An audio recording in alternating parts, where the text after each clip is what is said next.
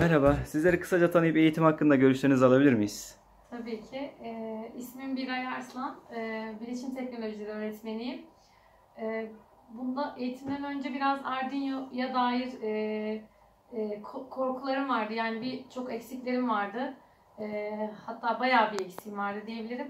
Ee, ama Mehmet Hocam sayesinde bunları e, neredeyse tamamını tamamladık diyebilirim. Ee, bayağı e, daha önce hiç yapmadığımız e, projeler yaptık. E, bayağı da verimli bir eğitim oldu bizim için.